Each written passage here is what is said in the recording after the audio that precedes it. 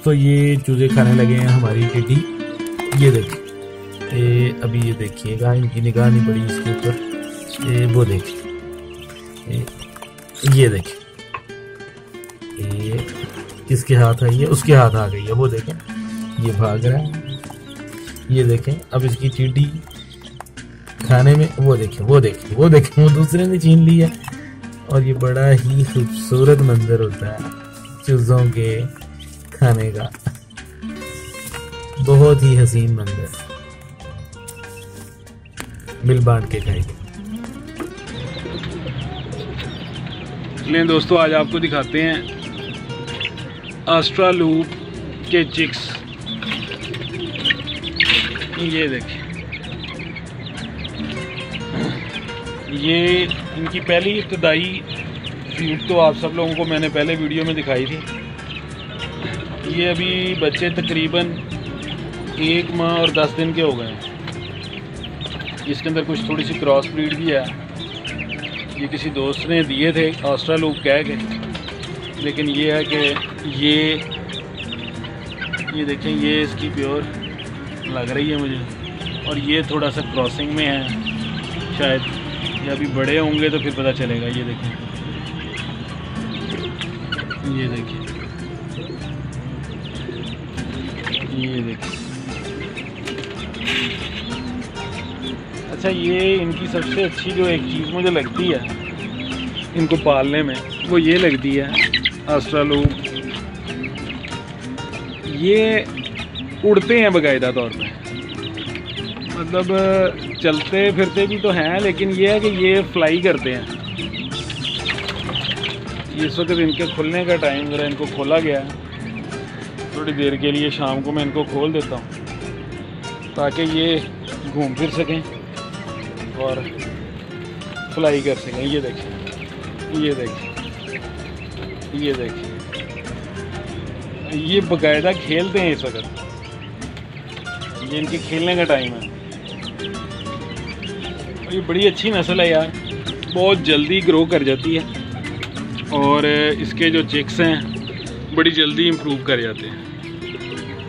Result अभी इनका क्या निकलता है, ये मैं इसके बारे में भी कुछ नहीं कह सकता, क्योंकि जिस दोस्त ने ये दिए थे, वो असरा लूप कह के दिए थे। लेकिन ये इसमें से बाद में ये पता चला है कि ये कुछ हुआ है, इसमें से क्रॉस ब्रीड निकल आई है। लेकिन इसमें चंद एक चूज़े ये जो जैसे ये दो खड़े हैं ब्लैक ये और ये एक ब्लैक ये रेड में ये मुझे लग रहा है कि शायद, जो है ना, ये क्रॉस में है इसकी ब्रीड लेकिन ये रेड वाले शायद इसमें से मतलब निकल आए। इनका कलर बड़े होकर शायद ठीक हो जाए। लेकिन फ़िलहाल जो है वो जो रिज़ल्ट सामने आ रहा है, उसमें वो मैं आपको वीडियो इसलिए दिखा रहा हूँ कि ताकि आइडिया हो जाए सब दोस्तों को कि जब भी वो लें किसी से चिक्स तो उसकी गारंटी ज़रूर लें। मुझे गारंटी नहीं थी दी गई। किसी ने गारंटी नहीं दी। उस बंदे ने भी मतलब इसकी गारंटी कोई नहीं की थी। लेकिन पचास रुपए का मुझे उसने एक पीस दिया था, ये चूज़ों का, ये डे ओल्ड में थे। मतलब दो दिन के, तीन दिन के थे। और अब ये तकरीबन एक माह, दस दिन के हो गए हुए ये इनका रिज़ल्ट है, आप देख लें कि ये बड़े हो गए इस तरह के निकल रहे हैं, ये और अभी आगे मज़ीद इनके जो कलर्स चेंज होंगे, उनकी मैं वीडियो बनाता रहूँगा साथ साथ क्योंकि ये मैंने थोड़े से सिर्फ़ रखे हैं अपने पास एक एक्सपेरिमेंट के लिए और देखने के लिए कि ये कैसे ब्रीड करते हैं। वैसे तो मेरे पास बाकी के जो हैं, वो पिजन्स हैं, वो आप सब लोगों ने शायद पहली वीडियोस भी देखी होंगी। वो मैंने मुख्तलिफ़ नस्ल के जो हैं, वो पिजन्स रखे हुए हैं। और, उनकी मैं ब्रीड करवा रहा हूँ। ये सामने भी बच्चा बैठा हुआ है।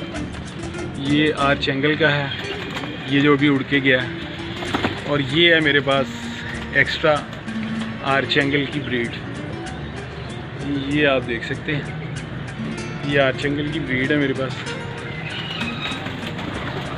और ये पाकिस्तान में कम लोग हैं जिन्होंने अभी तक रखे हैं मैं फ़िलहाल। जहाँ तक मेरे नॉलेज में अगर किसी भाई के पास हैं, ज़्यादा हैं तो वो ज़रूर मुझे कमेंट्स करें यार, बताए ज़रूर कि यार हमारे पास भी आर्च एंगल इतने हैं।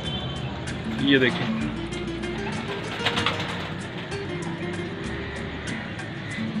ये देखिए ये आगे इनके चिक्स निकले हुए हैं, हर चैंगल के। ये इनके चूजे हैं।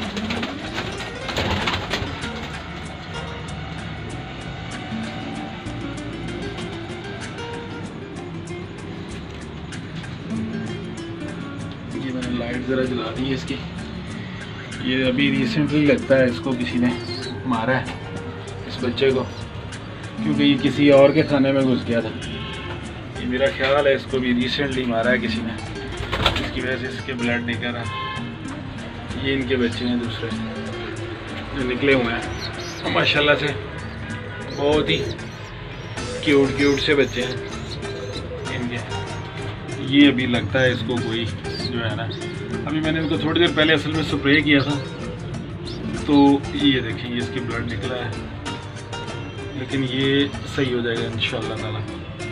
इसका सबसे अच्छा हल ये है कि आप फ़िलहाल इसको यहाँ पे पकड़ के तो थूक लगा दें अपना, जहाँ से इसकी ब्लड निकल रहा है। ये जैसे मैंने लगाया अभी। और ये इसका बड़ा अथेंटिक सिलसिला है। बहुत जल्दी ये इम्प्रूव कर जाएगा। ये मैं आपको बाद में भी इसकी वीडियो दिखाऊँगा, जब ये इम्प्रूव कर जाएगा।